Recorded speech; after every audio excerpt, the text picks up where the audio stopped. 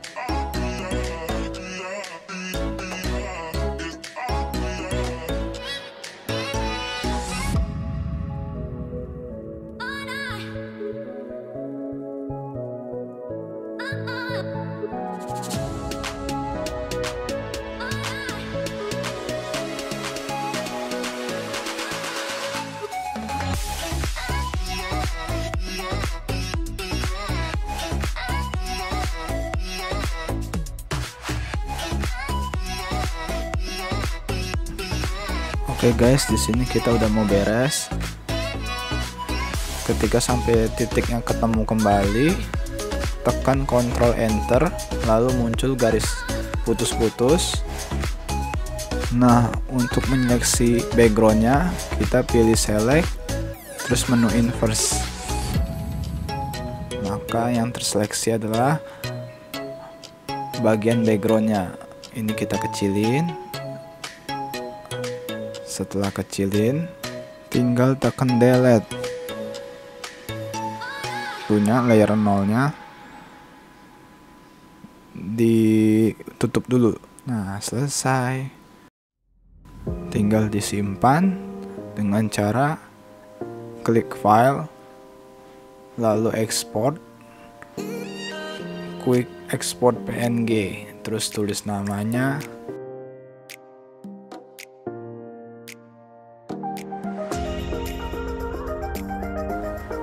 lalu save. Oke okay guys. Sampai sini dulu aja tutorialnya. Jika ada saran tutorial lain silahkan ditulis di kolom komentar. Jangan lupa like share dan subscribe ya guys. See you in next video. Bye bye